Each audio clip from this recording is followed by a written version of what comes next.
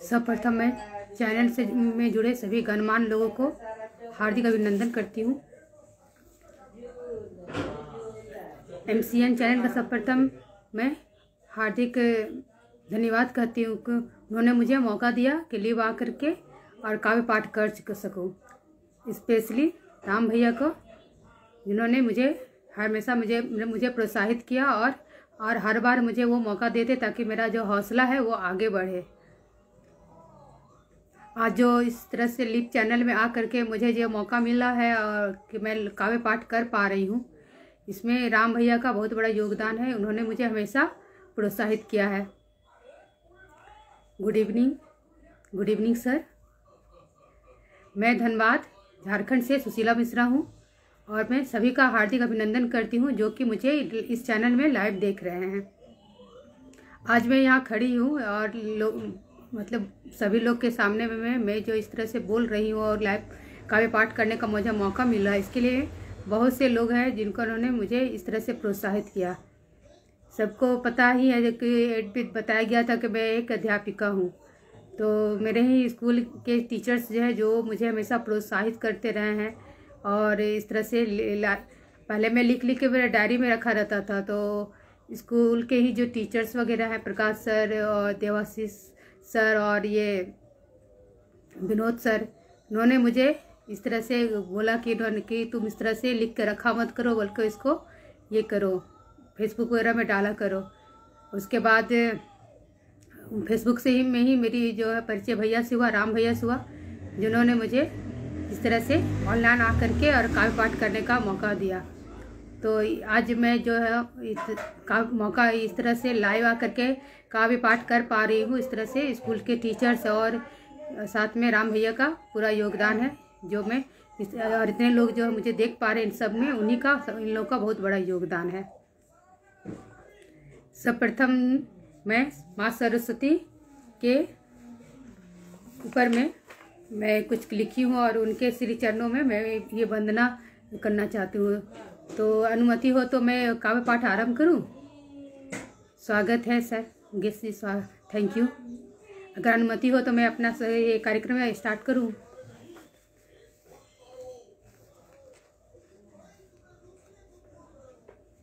आप लोग ठीक से सुन रहे हैं मुझे?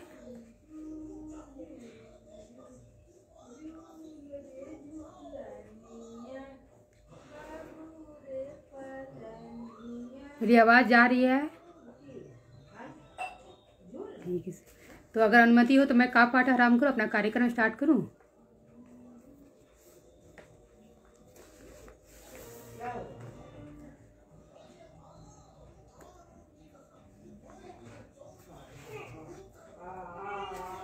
सर्वप्रथम मैं माँ सरस्वती की ये जो वंदना है, इसको, इससे मैं एक का पाठ का आरंभ करती हूँ। इसे, ये कविता का शीर्षक है, हे माँ सरस्वती, वर दे। हे माँ सरस्वती, वर दे। मन में तम का विनाश कर दे। मुझमें नूतन प्रकाश भर दे। तूने ही जग को वाणी के उपहार दिए। सभी के वाणी में मिठास भर दे। किसी के मुख से कभी ना कटु वचन निकले। नित मानव मुख से मंगल ध्वनि निकले। ऐसा आशीष सर दे। हे माँ सरस्वती, वर दे। कटु वचनों से बड़े बड़े विनाश हुए। रिश्तों की नाजुक डोर एक झटके से टूट गए। मानव मानवता से दूर हो गए। मानव को मानवता का उपहार सर दे। हे माँ सरस्वती वर दे। मेरा हृदय देश प्रेम में रत रहे, नहीं दिखती विषमता तुझमें और भारत माता में मुझे। देश पर रक्त का हरेक कण अर्पण करने का अवसर दे। कहीं न डिगे मेरे कदम, मेरे हृदय में साहस का दर्प दे। हे माँ सरस्वती, वर दे। ये मेरी पहली कविता माँ सरस्वती के श्री चरणों में। जैसा कि सबको पता है कि जब ब्रह्मा जी जो है ये जब धरती का निर्माण किए थे तो उसके बाद उनको क्या लगा क्या सब निर्माण करने के बाद उनको लगा क्या कि कुछ कमी है। तो कमी था ये था कि माँ सरस्वती का ही निर्माण नहीं हुआ था। फिर उन्होंने कमंडल से जल का छिड़काव किया और उसी से माँ सरस्वती अवतरित हुई और उन, उनके हाथ में बीना थी और उसके बाद उन्होंने बीना का तार छेड़ा। और बीना का जो तार बजाया तो उससे क्या जो वाणी जो निकली, उसी से सबको जो है वाणी मिली। इसीलिए बीना से जो है छेड़ने से मुख से आवाज़ निकला सभी मनुष्य के से, इसीलिए इसको वाणी बोला जाता है। लेकिन ये जो वाणी था मिठास के लिए मिला था, लेकिन हम लोग इतनी कड़वी बात करते हैं कि आज जो है क्या होता है इसी वाणी की वजह से हम लड़ाई झगड़ा वगैरह होते रहते हैं। मेरी पहली वर्दन ये जो वंदना जो थी माँ सरस्वती के श्री चरणों में थी। और मेरी ये दूसरी जो है प्रार्थना में गुरु वंदन करना चाहते हूँ हमने गुरुदेव के चरणों में जिन्होंने के शिक्षा दीक्षा पा करके मैं अपना इस मंच तक पहुँच पाई हूँ या फिर जो भी कुछ कर पा रही हूँ इसमें गुरुजनों का ही बहुत बड़ा आशीर्वाद रहा है। तो इसलिए मैं अब दूसरी जो मेरी कविता है वो गुरु वंदन कर के करना चाहती हूँ। एम शर्मा जी, आपको मेरी प्रार्थना अच्छी लगी बहुत बहुत धन्यवाद। मुकेश नेगी जी, आपको अच्छी लगी, माँ सरस्वती की वंदना बहुत बहुत धन्यवाद आपका। आगे देखिए। ये सेकंड पोएम जो है मेरा, वो गुरु वंदन है, शीर्षक है मैं अपने गुरुदेव लोगों के लिए है ये। हे नाथ, मैं गुरु के चरणों को वंदन करना चाहती हूँ। हे नाथ, मैं गुरु के चरणों को वंदन करना चाहती हूँ, पर किस विधि से करूँ, ये नहीं जानती हूँ। दिया है ज्ञान, जड़ चेतन का उन्होंने मुझको, पर आज के ये विस्मय बेला में खुद को मैं अज्ञानी पाती हूँ। हे नाथ, मैं गुरु के चरणों में को वंदन करना चाहती हूँ, पर किस विधि से करूँ, ये नहीं जानती हूँ। अगर मैं नीड़ कुंजन और सुमन चढ़ाती हूँ। अगर मैं नीड़ कुंजन और सुमन चढ़ाती हूँ तो इन पर मैं कभी भी उचित इसे नहीं पाती हूँ। इनसे तो मैं सदा आपको नवाती हूँ तो कैसे मैं उनको लुभा सकती हूँ? हे नाथ, मैं गुरु के चरणों को वंदन करना चाहती हूँ, पर किस विधि से करूँ, ये नहीं जानती हूँ। तुम ही सृष्टि करता हो। ये मैं जानती हूँ। तुम ही पालन करता हो। ये मैं मानती हूँ। पर जिन्होंने मुझको इसका ज्ञान दिया, उन्हें मैं कैसे आपसे हीन मान सकती हूँ? हे नाथ, मैं गुरु के चंदन चरण को वंदन करना चाहती हूँ, पर किस विधि से करूँ, ये नहीं जानती हूँ। जिन्हें मैं अपना प्रथम पूज्य समझती हूँ, उन्हें मैं उसी से सवार सकती हूँ, जिसे मैं सुमन से कोमल नीड़ से पवित्र और कुंजन से मीठा पाती हूँ। हे नाथ, मैं गुरु के चरण को वंदन करना चाहती हूँ, पर किस विधि से करूँ, ये मैं नहीं जानती हूँ। ये थी मेरी गुरु के चरणों की वंदना कर करती हुई मेरी ये काव्य थी इसे मैं मैं, मैंने यही कहा है कि ये जो है, मैं श्री गुरु के चरणों को वंदन करना चाहती हूँ, लेकिन प्रार्थना करना चाहती हूँ, लेकिन जल से, फूल से, और या फिर मीठे फलों से मैं उनका कैसे प्रार्थना कर सकती हूँ? कि, ये जो है, इसे हम लोग भगवान की ईश्वर की पूजा करते हैं, और जो ईश्वर है, वो उनके बारे में हमें गुरु के द्वारा ही ज्ञान मिला है। और तो गुरु के लिए तो हमको कुछ विशेष चीज़ लाना होगा ना जो कि जल से भी ज़्यादा पवित्र हो और कुंजन यानी कि फल से भी ज़्यादा मीठा हो और पुष्प से भी ज़्यादा जो कोमल चीज़ होगा, उसी से मैं इसकी पूजा कर सकती हूँ। इसीलिए ये सारी चीज़ जो है मैं गुरु के चंदन की पूजा करने के लिए मैं उचित नहीं पाती हूँ, क्योंकि इसलिए लगता है कि उनकी पूजा मैं, गुरु की पूजा मैं करूँ तो किस तरह से करूँ? मैं, ये मैं समझ नहीं पाती हूँ। गुरु के प्रति श्रद्धा सभी के मन में बने सदा। बहुत ही अच्छा ये तो गुरु के प्रति सभी के मन में श्रद्धा हमेशा बनी रहती है। Thank you Rajesh ji. क्योंकि सभी को पता है कि गुरु के वजह से ही ज्ञान मिलता है और संसार में जो भी करते लोग गुरु के ही के वजह से करते हैं। कबीरदास जी भी गुरु के महत्व को बोले हैं कि गुरु गोविंद दोनों खड़े को काको लागो पाँव, बलिहारी गुरु आपने गोविंद दियो बताया सभी ने गुरु के ज़्यादा महत्व दिया है। मेरी जो अगली कविता है, मैं तिरंगा। ये इस कविता में मैं जो है हमारे जो स्वतंत्रता संग्राम है, उस स्वतंत्रता संग्राम से हो करके, उसके बाद जो किस प्रकार से हमारा देश जो गणतंत्र हुआ, उसकी पूरी कहानी को मैंने काव्यबद्ध करने की कोशिश की है। इस, ये कविता जो मैंने करीब दो अढ़ाई साल या तीन साल पहले मैं लिखी थी, गणतंत्र दिवस के अवसर पर ही लिखी थी। मैं स्कूल में, मैं जो पढ़ाती हूँ, वहाँ पे प्रत्येक समय जो भाषण वगैरह जो दिए जाते हैं, हिंदी में, इंग्लिश में, वो ज़्यादातर मैं ही लिखती हूँ और उसमें मैं अपनी एक कविता ज़रूर लिखती हूँ। तो इस, ये जो है पूरी काव्य मैं भाषण ही के रूप में मैंने इसे लिखा था। और ये जो मेरी जो क्लास की एक स्टूडेंट जो उस समय सेवन में पढ़ती थी और अभी उसका, अभी वो श्वेता शर्मा नाम है और वो अभी क्लास नाइन में पढ़ रही है। तो वो इस भाषण को जो है पूरी इस, इसमें बोली थी छब्बीस जनवरी के अवसर पे इसे वो बोली थी। तो मैं उसी जो है मैं तिरंगा उसे फिर से मैं आप मंच में बोलने जा, जा रही हूँ। इसमें पूरी स्वतंत्रता संग्राम का, का ज़िक्र है। और जिसका कि देखने वाले जो है इस स्वतंत्रता संग्राम का जो सबसे बड़ा साक्षी है वो हमारा देश का जो तिरंगा है वही है। तो इसीलिए मैंने इसको, मैं तिरंगा इसे मैंने आत्मकथात्मक शैली में लिखने का प्रयास किया है।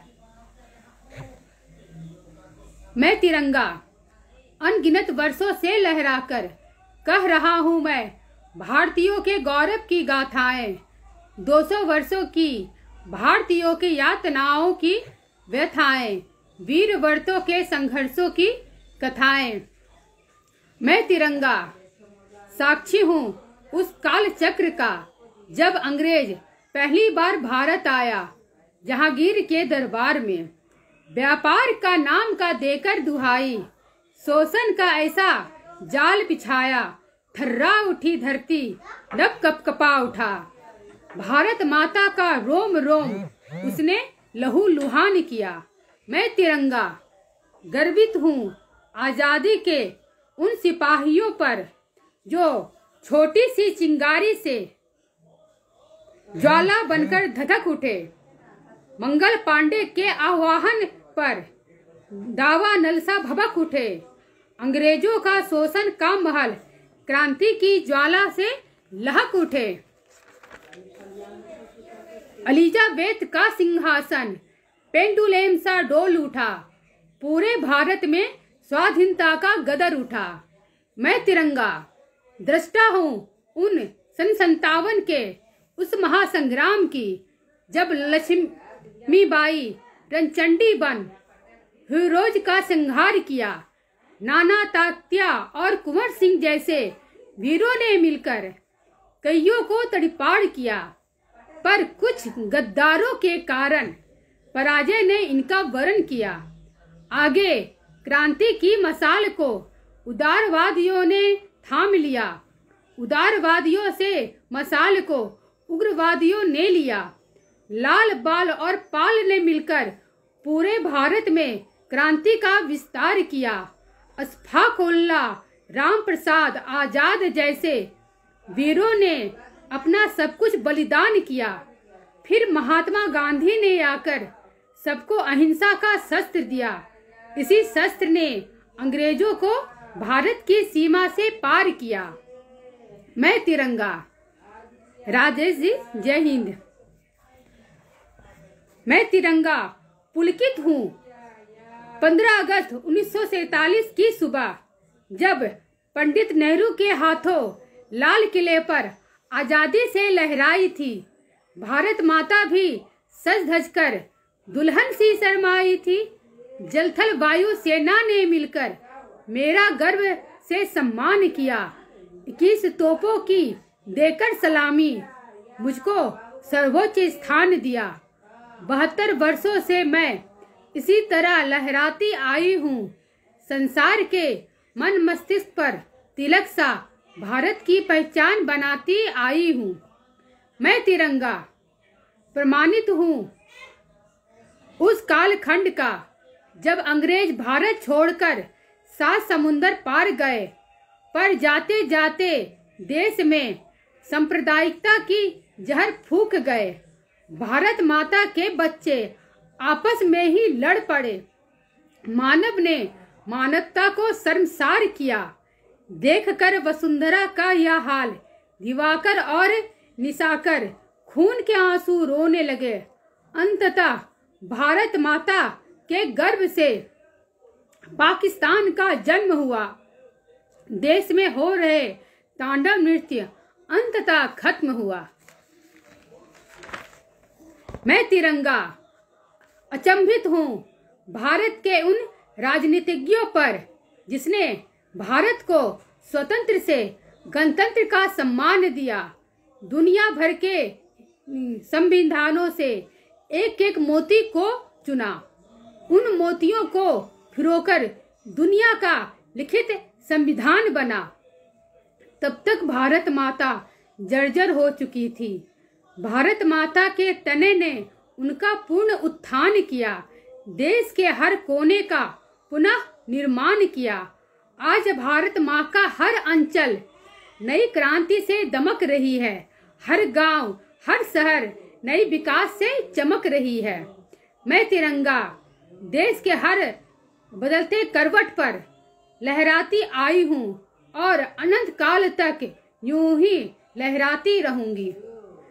ये थी मेरी कविता मैं तिरंगा जिसमें मैंने भारत के का जो स्वतंत्रता संग्राम है उसके बारे में मैंने ज़िक्र करते हुए साथ में मैंने लास्ट में किस प्रकार से हमारा देश जो है गणतंत्र हुआ उसके बारे में मैंने ज़िक्र किया अपने पूरे संविधान निर्माण का पूरे मैंने जिसमें ज़िक्र किया। इसी वजह से ये कविता भी थोड़ी लंबी हो, हो गई। राम भैया नमन आपने और इसके बाद मेरी जो नेक्स्ट कविता है, बीजेपी।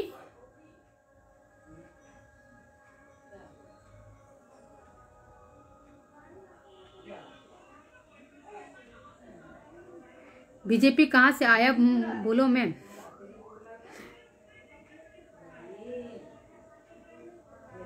पावन जितनी जमुना सरस्वती और गंगा उतना ही पावन, ये है झंडा तिरंगा। सही है? हमारा देश का जो तिरंगा है, वो सबसे पवित्र जगह है।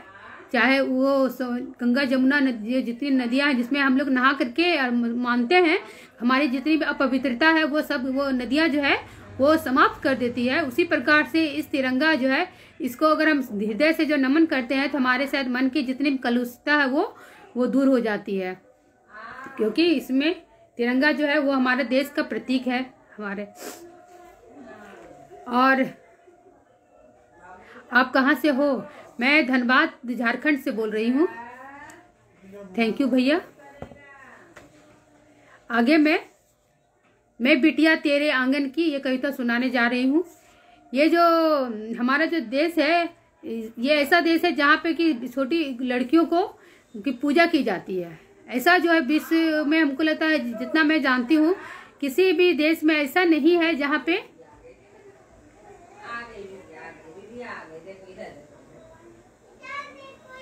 ऊँचा रहे तिरंगा। सुरेश कुमार जी, थैंक जी, हमेशा हमारा तिरंगा ऊँचा रहेगा और हम ही लोग के वजह से ऊँचा रहेगा। हमारे कार्यों से हमेशा ऊँचा रहेगा। अगर हम ऐसा ऐसे काम करें जिससे कि देश का नाम हो दुनिया में, तभी हमारा देश तिरंगा ऊँचा रहेगा। नहीं तो मैं नेक्स्ट कविता को और बढ़ती हूँ? मैं, बिटिया तेरे आँगन की। और ये जो है, इसमें हमारा देश, हमारे देश में क्या है? छोटी छोटी कन्याओं को की पूजा की जाती है। उन्हें दुर्गा माना जाता है। दुर्गा का रूप मान करके उनकी पूजा की जाती है। उसके बावजूद भी, हमारे देश की जो लड़कियाँ हैं, उसको कई कई, बहुत सारी समस्याओं का सामना करना पड़ता है। सबसे पहले देखिए, जब हम लोग पता चलता है क्या कि बहुत सी जगह में अभी भी कि उनको गर्भ में जो है लड़की है, होने वाली है तो क्या करते हैं लोग उसको? जन्म से ये, पहले ही उसको भ्रूण हत्या के द्वारा उसको मार देते हैं। तो ये उसके बाद अगर जन्म भी हो जाता है तो उसको बहुत सारा बंधन रखना पड़ता है। इसी कारण थोड़ा समाज भी है। अगर वो लड़की बाहर जाती है तो आजकल जो है, बहुत ज़्यादा रेप वगैरह जो हो रहा है, इसके वजह से लोग डरते हैं और उसको उतना स्वतंत्रता नहीं मिल पाती है। यही सब का मैंने जो लड़की की जो समझ सभी समस्याएँ हैं जो मुझे दिखाई देती, खुद मैं लड़की हूँ तो मैं, इसलिए मैं महसूस करती हूँ कि खुद कितने प्रॉब्लम्स होते हैं हम लोग तो उसको मैंने इस कविता में मैं बताने का मैंने कोशिश की है। मैं बिटिया तेरे आँगन की। ये जो कविता है, ये भी आत्मकथात्मक शै- शैली में ही लिखा गया है। इसका शीर्षक है, मैं बिटिया तेरे आँगन की। मैं बिटिया तेरे आँगन की, मैं शोभा तेरे प्रांगण की। मत छीनो मुझसे मेरी सांसों की डोरी। अपने अस्तित्व के लिए क्यों समाज से करनी पड़ती है होड़ा होड़ी? मैं बिटिया तेरे आँगन की। मैं शोभा, तेरे प्रांगण की। क्यों? आँख खुलने से पहले मुझे मार दिया जाता है। बन गुलाब, आँगन में महकूं, उससे पहले जीने का अधिकार छीन लिया जाता है। पापा, मैं अंश हूँ तेरी। तेरे प्यार की मैं भी अधिकारी। क्यों? प्रताड़ित करते हो माता को। तुम सब बनकर दंडाधिकारी। मैंने लड़की के रूप में जन्म लिया। इसमें मैंने क्या पाप किया? मैं बिटिया तेरे आँगन की। मैं शोभा, तेरे प्रांगण की। मानकर, दुर्गा काली, तुम पाषाण की पूजा करते हो। फिर क्यों मूर्त रूप में मुझको नहीं स्वीकार करते हो? तुमने भी तो एक नारी, तुम्हें भी तो एक नारी ने जन्म दिया, ये बात क्यों भूल जाते हो? मैं,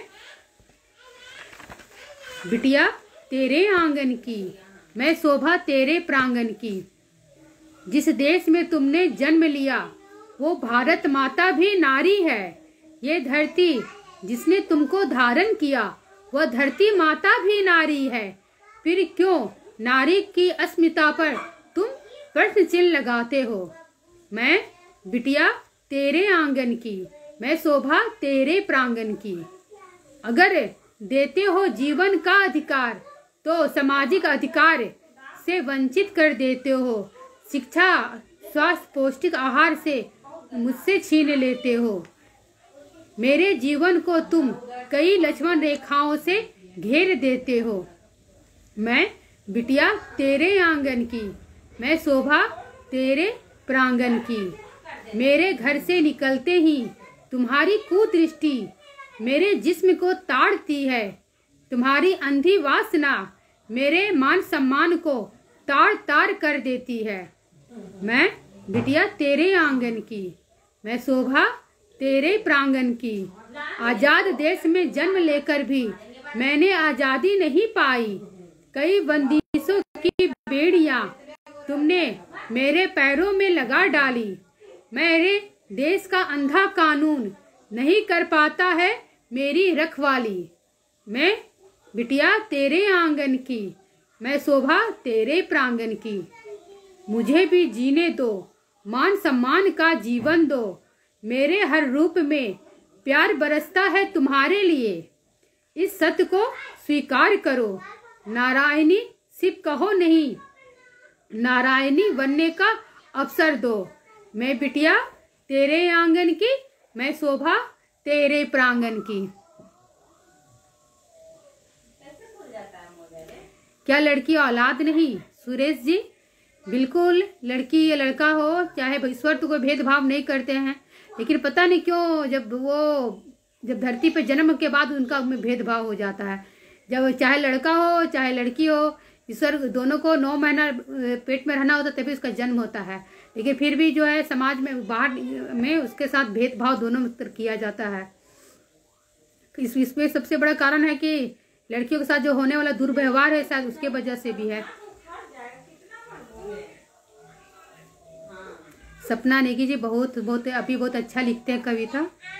सुरेश जी थैंक यू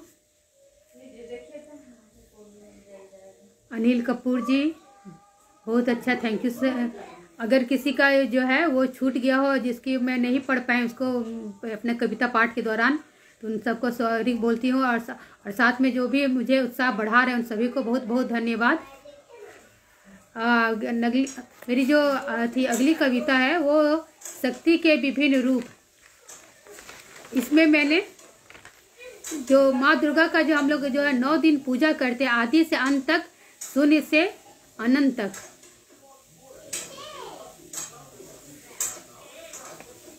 आगे जो है, ये जो एम एम शर्मा जी, आप जो भी बोल रहे हैं, मुझे समझ में नहीं आ रहा, लेकिन जो भी है अच्छा ही होगा। नेक्स्ट है जो है, इसमें जो है, दुर्गा माँ का नौ रूप का जो हम लोग पूजा करते हैं ब्यूटीफुल दी थैंक यू ज्योति लाइव होने के लिए। तो माई हमको अच्छा लग रहा है। चलो नेक्स्ट जो मेरी कविता है शक्ति के विभिन्न रूप इसमें माँ दुर्गा का जो नौ रूप की जो हम लोग पूजा करते हैं नवरात्रि के समय उनके नौ रूप जो है किस प्रकार से उनका नाम हुआ और किस प्रकार से वो जो है हमारे देखा जाए तो हमारी सभी बेटियों में, में वो रूप दिखाई देता है। तो वही बात जो है इस कविता में मैंने दिखाने की कोशिश की हूँ। इसीलिए इसका मैं नाम नामकरण भी मैंने किया शक्ति के विभिन्न रूप।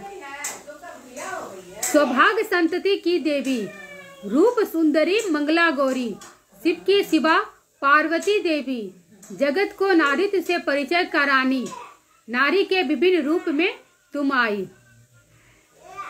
मैंने सबसे पहले मंगला गौरी यानी माता पार्वती को मैंने इसमें नमन किया क्योंकि जो जो भी माँ दुर्गा का जो नौ रूप है वो माँ पार्वती से ही वो आया है। इसी वजह से सबसे पहले मैं थे मैंने माता पार्वती को नमन किया है।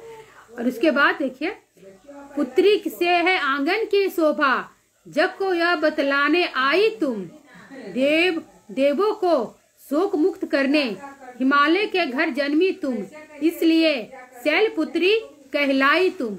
माँ का जो पहला रूप है शैल पुत्री ये जो क्या, शैल का मतलब होता है पत्थर, और ये जो हिमालय जो है, वो एक पत्थर से बना हुआ, ये पता है ये आप लोगों को, इसीलिए उसके घर से हिमालय के पुत्री के रूप में जन्मी, इसीलिए माता के जो पहला रूप है, उसको हम लोग शैल पुत्री करके पूजा करते हैं। उसके बाद दूसरा है, शिव की सिवा बनने को। तपस्विनी बनकर वन वन बिचरी तुम। कठोर तप करके, अपनी काया को कंचन बनाई तुम। इसलिए ब्रह्मचारिणी कहलाई तुम। तब से तुम्हारे सिंहासन शिव का डोल गया। पाकर शिव का सानिध्य। चंद्र सी तुम लावन को पाई। इसलिए चंद्र घंटा कहलाई तुम। जग को दाम्पत्य का महत्व बताने, दाम्पत्य जीवन में बंधी तुम। नर और नारी है एक दूजे से परिपूर्ण। जग को यह बतलाई तुम, इसलिए कुसमांडा कहलाई तुम। जगत जननी, जगत माता, जगत कल्याणार्थ हेतु, जननी स्कंद की बनी तुम। ताड़का सुर को, जग को ताड़ने, स्कंद को जन्मी तुम। इसलिए स्कंद माता कहलाई तुम। ऋषि कात्यायन की प्रार्थना से धरती पर आई तुम। भक्ति की लाज रखने को मानस रूप में जन्मी तुम। इसलिए कात्यायनी कहलाई तुम। सभी के काल को हरने वाली, उग्र रूप को धारण करने वाली, दुष्टों का दलन करने वाली, काल से जग की रक्षा करने वाली काल रात्रि कहलाई तुम काल हरण के कारण श्याम वर्ण को पाई तुम। पुनः कठिन तप करके गौर वर्ण को पाई तुम। इसलिए महागौरी कहलाई तुम। अष्ट सिद्धियों की धात्री तुम। हो सभी गुणों की खानी तुम। भक्त वत्सल जगत पालनी तुम। भक्तों को आशीषों से निहाल कर देती तुम। इसलिए सिद्धिदात्री कहलाई तुम। कभी दुर्गा, कभी काली, कभी अन्नपूर्णा, कभी शाकंबरी कभी वैष्णो कहलाई तुम। नारी है हर रूप में, घर में तुम्हारे, नारी के इन स्वरूपों को पहचानो तुम। करो न सम्मान इनका, तब फल फूल पाओगे तुम। बहुत ही बेहतरीन रचना, ज़बरदस्त काव्य पाठ।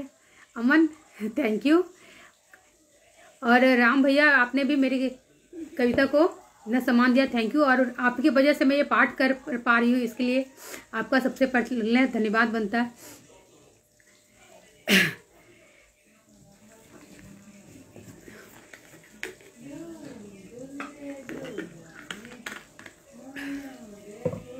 मेरी जो कविता थी, शक्ति के विभिन्न रूप इसमें मैंने बताया कि हिमालय के घर से जन्मी, इसीलिए वो पहली माता जो है हमारा, उसे हम लोग शैलपुत्री के नाम से जानते हैं। उसके बाद जो है, जब वो विवाह की योग्य हुई, तब जो है, उनके जो पिता है, उन्होंने उनका विष्णु के साथ उनका विवाह कर तय कर दिया था।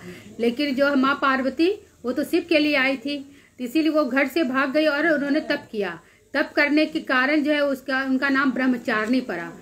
उसके बाद जब शिव जो है उनसे खुश हो, हो गए और उसके बाद दुल्हन का रूप बन के जब वो पार्वती जी जो है शादी करने के लिए आई तो वो उनके उस रूप को हम लोग चंद्र घंटा घंटा कहते हैं। उसके बाद कुसमांडा है जो शिव और पार्वती जी का जो मिलन होता है उस उस रूप को हम लोग कुसमांडा कहते हैं। उसके बाद मिलन होने के बाद जो है पुत्र एक औरत जो है वो माँ बनती है तो वो भी माँ पार्वती भी माँ बनती है स्कंद की इसीलिए वो स्कंद माता कहलाती है। उसके बाद एक ऋषि है कात्यायन वो कात्यायन ऋषि जो है, वो प्रार्थना करते हैं माँ पार्वती को धरती पे आने के लिए। उसके बाद वो एक मानस कन्या के रूप में धरती पे जन्म लेती है। इसीलिए ऋषि कात्यायन के वजह से इनका नाम कात्यायनी पड़ता है। उसके बाद जो है, वो कई राक्षसों को मारने के लिए वो काल रूप धारण करती है और घर करके और वो गधे पे बैठकर बहुत से राक्षसों का दलन करती है, इसीलिए काल रात्रि कहलाती है। उस राक्षसों क- दलन करने के कारण उनका जो है बहुत क्रोध के कारण उनका शरीर जो है काला पड़ जाता है तो उसके लिए वो जो है क्या करती है, तपस्या तपस्या करती है। लंबी तपस्या करने के बाद जो है वो फिर से उनका गौरा शरीर आता है। इसीलिए माँ को यह महागौरी कहलाती है। और उसके बाद लास्ट है वो सिद्धिदात्री। वो चाहे किसी भी प्रकार का जो सिद्धि है, उसके उसे पाने के लिए माँ दुर्गा का पूजा करना पड़ता है। और वो हर प्रकार चाहे वो अच्छा हो, पूजा हो या चाहे फिर तामसिक पूजा हो, किसी भी तरह की पूजा हो सभी तरह की ये हमें गुण, आशीर्वाद जो है, उसी से लोग पाते हैं। इसीलिए उनको नौमा रूप जो है, सिद्धिदात्री कहलाती है। इसी के अलावा और भी बहुत सारे माँ का रूप है, जिस, जो कि हमारे कर, इस कविता द्वारा मैंने मानव माँ के नौ रूपों के बारे में मैंने वर्णन किया है। नेक्स्ट जो मेरी कविता है, प्रदूषण। ये कविता जो है मैं जब स्कूल के समय थे मैं ही लिखी थी। शायद सेवन या एट में मैं पढ़ती होंगी उसी समय की मेरी कविता है। और यहाँ का जो स्कूल के समय में जो ये था हम्म, पेपर था यहाँ पे आता था आवाज़ करके। वो अभी भी अभी अभी स्टार्ट हो गया पहले बीच में बंद हो गया तो उसमें मेरी ये कविता छपी भी थी। सेवन या एट में पढ़ती थी मुझे याद नहीं है। ये भी थैंक यू भैया। उसके बाद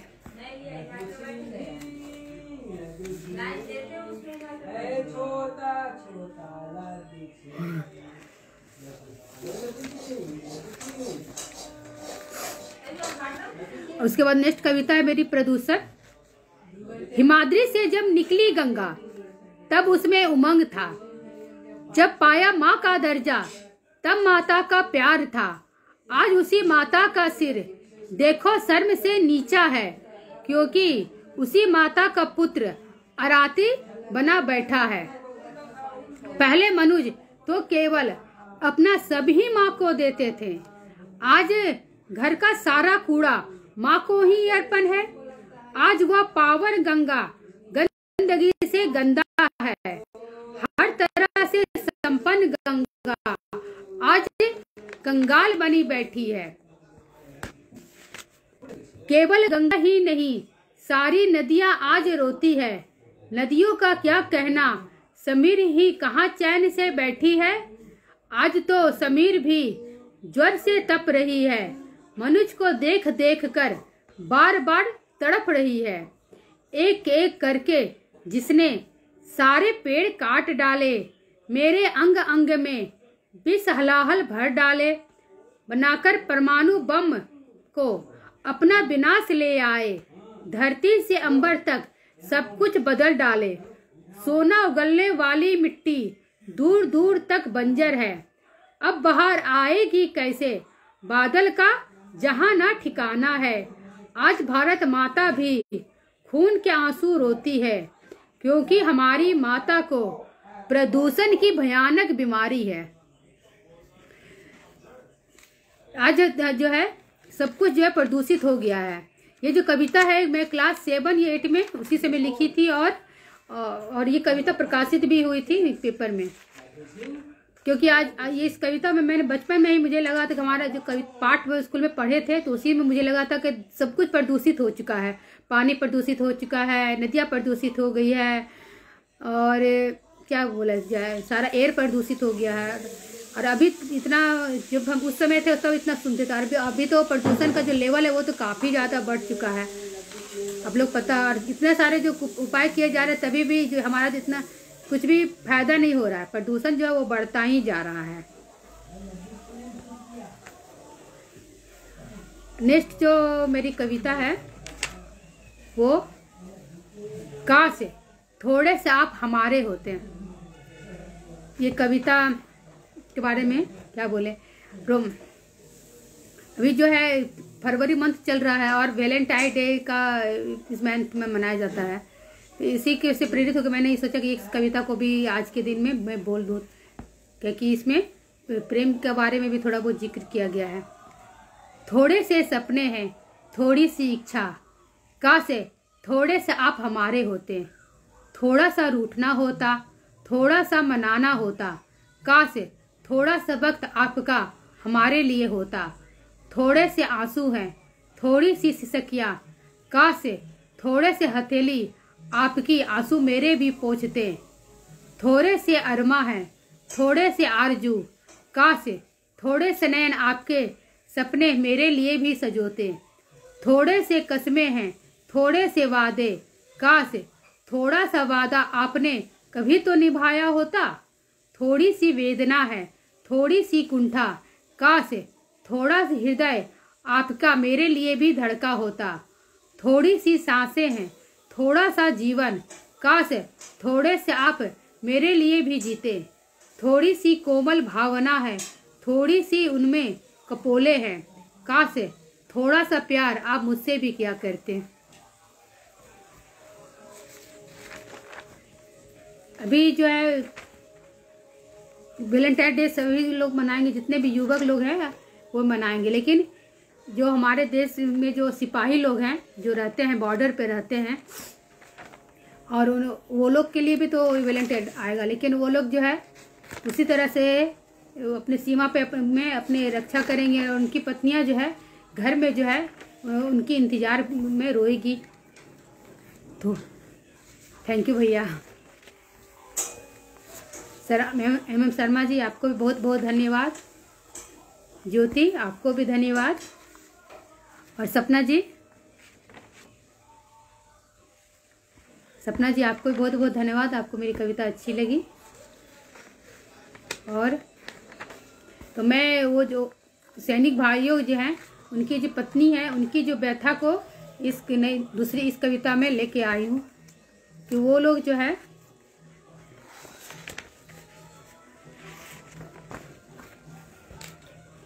सैनिकों के पत्नी की व्यथा। एक सैनिक जो है, वो जो बॉर्डर पे देश के लिए फ़र्ज़ निभाने के लिए रहता, लेकिन उनकी पत्नी जो है, वो भी एक तरह से देश के लिए फ़र्ज़ निभाती है, ताकि वो जो है, वो उसमें देर वो प्रत्येक दिन चिट्ठी लिखती है, वो उनसे मिलना चाहती है, लेकिन फिर भी अपने आप को वो रोक लेती जान, जानती अगर वो थोड़ी सी भी विचलित हुई तो उनके जो पति, जो सैनिक बन के जो देश की सेवा में लगे हुए हैं वो शायद वो सेवा ना कर पाए, देश सेवा से वो पीछे हट जाए। इसीलिए जो है वो अपने मन के दर्द को छुपा लेती है। अपने अपने आंसुओं को अपने तकिए में छुपा लेती है। तो मेरी इस कविता में मैंने यही ज़िक्र किया कि जितना योगदान जो है सैनिक को का है, उतना ही नमन के पात्र जो है उनकी पत्नियाँ भी है, क्योंकि उन्हीं के त्याग की वजह से ये सैनिक भाई जो है, वो अपना फ़र्ज़ को निभा पाते हैं। तो मेरी नेक्स्ट कविता है, सैनिक के पत्नी की व्यथा। मेरे सैनिक भाइयों, आया प्यार का मौसम है। कामदेव ने रति के संग मिलकर प्रकृति का किया अनुपम सिंगार है। क्या ये देख तुम्हारा मन नहीं मचलता? मिलने को अपने प्रेयसी से, वह भी तुम्हारी ही पाट जोहती है। अपने सजल नैनों को घूंघट में छिपा लेती है। करके तुम्हारे परियोजनों की सेवा, तुम्हारे प्रति प्रेम को उन पर लुटाती है। बिस्तर के सिलबटों में उन दिनों को याद करती है।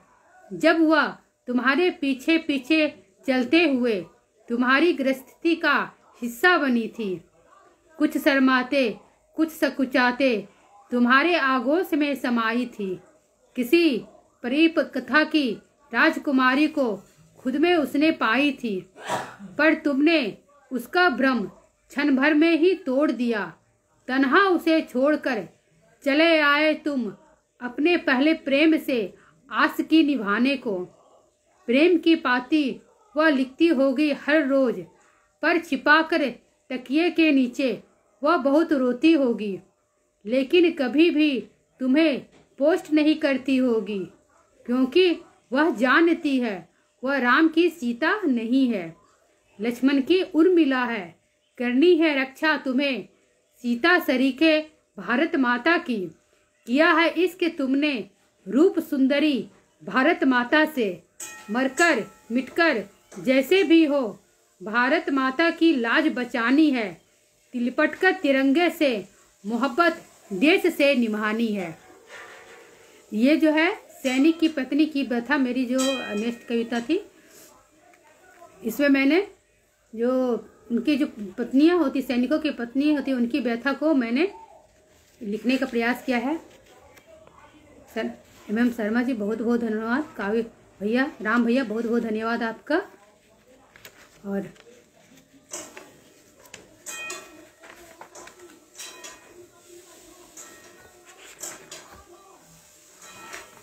मेरी जो नेक्स्ट कविता जो है, वो मैं कोरोना के समय में मैं लिखी थी। उसमें मैंने एक मजदूर मैंने बहुत देखे थे कि जब वो मजदूर लोग जो भाई जो हैं, वो जब उनको ये काम अचानक से बंद कर दिया गया, तब वे लोग क्या पैदल ही चल पड़े। और इसके बाद उनका बहुत ही ज़्यादा उनको परेशानी, वो पैरों उनका लहू लुहान हो गया।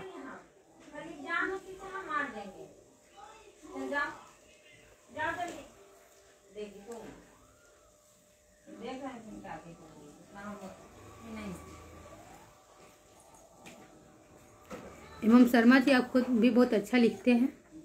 मैं महसूस कर रही हूँ आपके आपके कमेंट्स को पढ़ करके। तो ये जो है, मैं मजदूर हूँ साहब, ये भी कथात्मक शैली है। तो ये जो है मजदूरों का जो जो परेशानी थी, उसमें जो मैंने महसूस किया, जिसमें जो कोरोना अचानक से हुआ था और उसके बाद जो है, लोग भयभीत थे और सब लोग जो है, काम अचानक से बंद हो गया। और उसके बाद जो सबसे ज़्यादा आफत जो है, मजदूर के ऊपर आए क्योंकि ये जो होते प्रत्येक दिन कमाते और प्रत्येक दिन खाते हैं।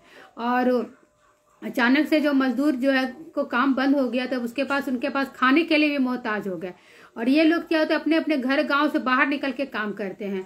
तब वो लोग जहाँ बाहर में रहते उनके पास खाने के लिए भी पैसा नहीं था।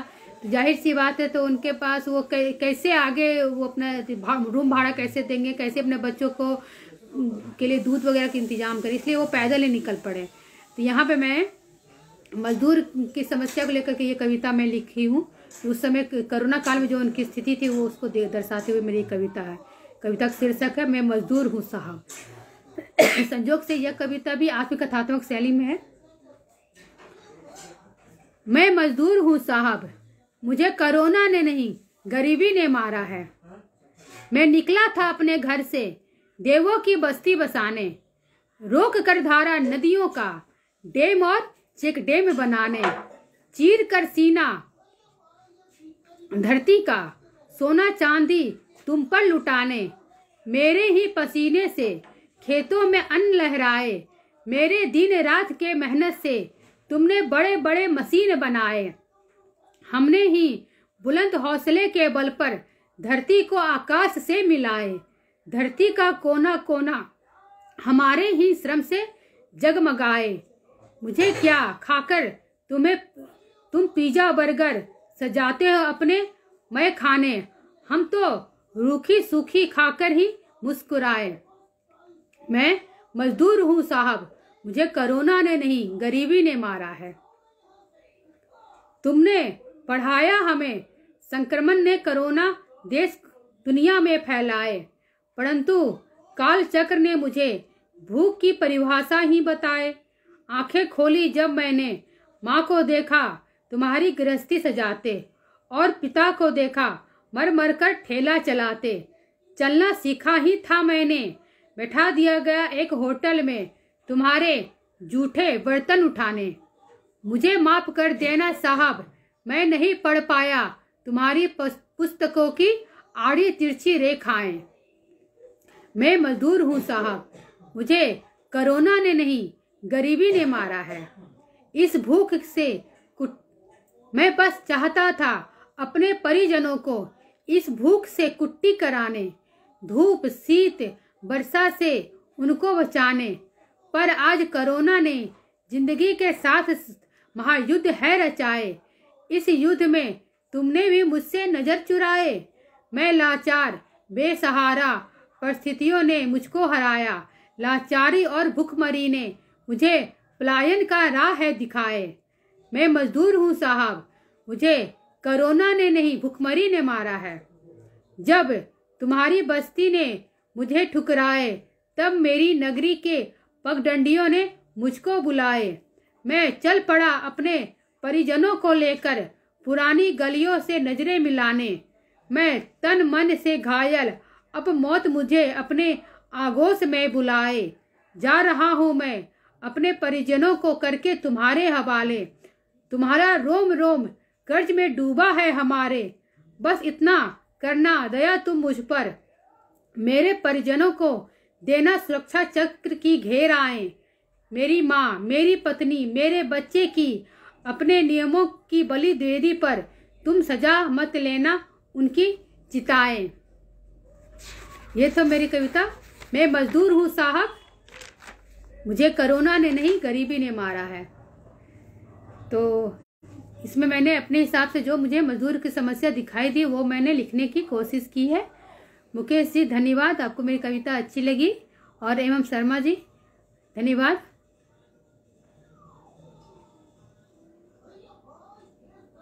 मजदूर लोग सदा मजबूर रहते, ये बात सही है। और हमेशा सभी तरह के सुख सुविधाओं से दूर रहते। जब वो उनका जो होश संभालते, बस उनके सामने एक ही समस्या बन के सामने आता है, वो क्या?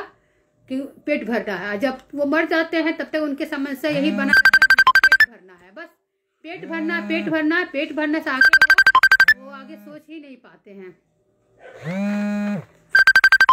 मेरी जो है, अगली जो कविता है, वो वो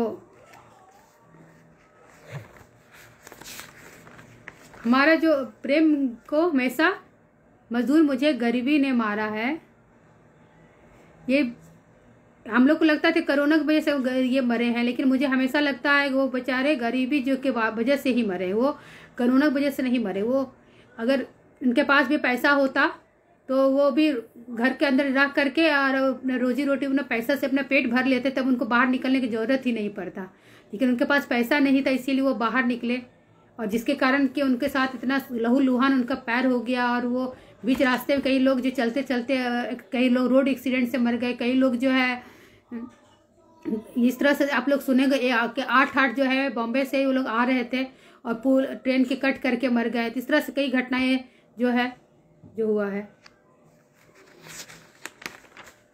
मेरी जो आगे की जो कविता है, बहुत खूब। Thank you Ravinder Kumar Sharma ji. अभी हम लोग किसान को देख रहे हैं।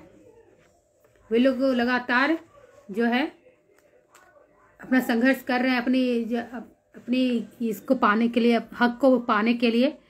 और अब वो जो है, किसान जो है, वो अपना रौद्र रूप में आ गए हैं और कुछ भी कर गुजरने को तैयार हो गए धीरे धीरे लेकिन मैं उन उन चीज़ों का ज़िक्र नहीं करूँगी, क्योंकि मुझे नहीं इसमें समझ में आता वो क्या गलत, क्या सही है उतना। मेरे से ज़्यादा गणमान्य आप लोग बैठे हुए हैं यहाँ पे। मैं लेकिन किसान का जो क्या रोल है हमारे जीवन में, उसको बताते हुए कविता है, वो मैं बोल रही हूँ भारत का किसान। अगर बड़े बड़े मजदूर लोग ये इंजीनियर डॉक्टर पढ़ के लोग जो करते हैं वो लोग के में क्या कहते हैं इंस्ट्रक्शन देते हैं। ये मजदूर और किसान जो है वही लोग श्रम करते हैं शरीर से। तो उन्हीं की वजह से ये देश जो है वो चलता है।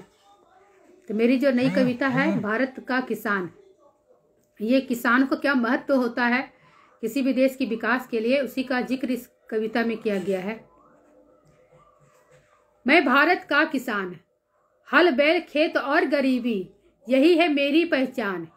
मैं भारत का किसान। करता हूँ मैं। देश का पोषण।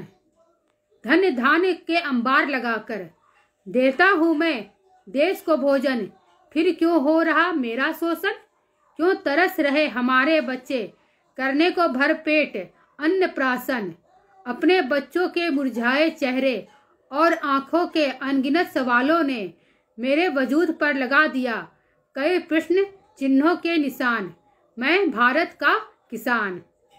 मेरे द्वारा उपजाए अनाज को बेचते हैं कई छोटे बड़े व्यापारी। रहते हैं वो बड़े शान से बनकर अपनी महल से दो, दो महल बनाकर अपने महल दो महल अटारी। और मैं कर्ज के बोझ तले दबता जाता हूँ। लाला के वही खाते में फंसता जाता हूँ। तंग आकर मजबूर हूँ मैं। कभी जहर खाने को, कभी नदी लाने में छलांग लगाने को। मैं भारत का किसान। देश को खाद्यान्न में आत्मनिर्भर करने वाला किसान खुद लंगड़ाता हुआ चल रहा है। शिक्षा, स्वास्थ्य के अभाव में किसी तरह जी रहा है। कैसी है विडम्बना देश की?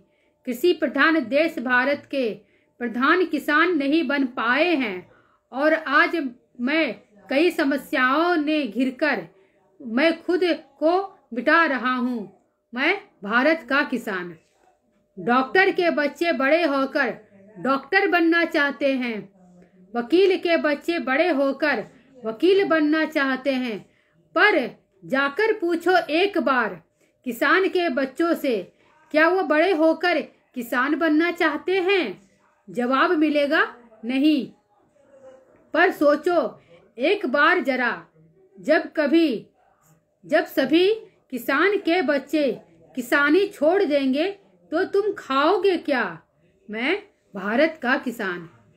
जैसे संविधान की आत्मा प्रस्तावना होती है, वैसे ही मैं इस देश की आत्मा हूँ। बिन मुझे, मुझ बिन हो जाएगी देश में बदहवाली। करते हो तुम जो भी काम, पर उससे पहले खाते हो तुम चावल रोटी। फिर क्यों नहीं करते तुम मेरे मेहनत को सलाम?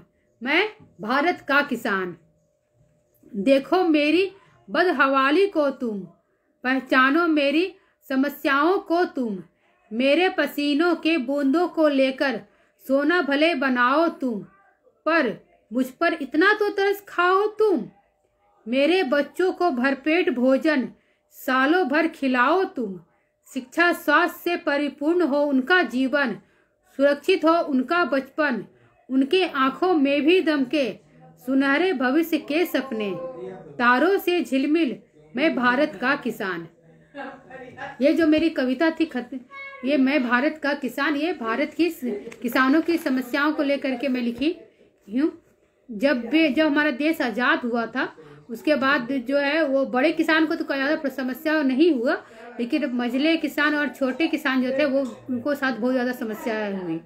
तो मझले किसान भी थोड़ा थोड़ा करके धीरे धीरे आने वाले समय में वो भी मोटा मोटी ठीक ठाक हो गए। लेकिन छोटे जो किसान थे वो क्या थे? दूसरे के खेतों में काम करते थे और आज भी जो उनकी जो समस्याएँ हैं उसी प्रकार से बनी हुई है। वे जो है उनकी समस्याओं से अभी तक भी कभी खत, ये ख़त्म नहीं हो पाया है। तो ये जो है उनकी समस्याओं को लेकर के मैंने कविता छोटी सी लिखी थी। शायद मेरी कविता जो है बहुत छो, छोटी है और उनकी समस्याएँ जो है वो बहुत बड़ी है। और ये जो मेरी है अंतिम कविता अनुराग में राग। इस कविता में मैंने लिखी है कि जो प्रेम जो है, हमेशा जो है, उसे कई परीक्षाओं से होकर गुजरना पड़ता है। अनिल भैया जी, नमस्कार भैया। आप भी जुड़े हुए हैं। मैं बहुत बहुत धन्यवाद आपका। ये जो है, अनुराग में राग, चूँकि वेलेंटाइन डे का मंथ है तो इसलिए मैं थोड़ी सी कविता जो है उस, इसी अवसर पे मैं ये लिखी हूँ। हमारे प्रेम जो होता है, वो उसको क्या होता है, कई परीक्षाओं से गुजरना पड़ता है और हमेशा जो है, इस परीक्षा में को नारी को ही देना पड़ता है। जैसे कि माँ सीता को अग्नि में जलना पड़ा और जो है, अहलिया है, उसको पत्थर बनना पड़ा तो परीक्षा देते हुए। तो यही सब मैं इस कविता में मैंने ज़िक्र किया है और ये मेरी आज की ये अंतिम कविता है। क्यों लाए आप अनुराग में राग? क्या नहीं जानते आप? है अधूरी माधव बिन राधा, उन्हीं के स्नेह से निर्मित है इसकी काया। पूछो, प्रसाद की कामायनी से।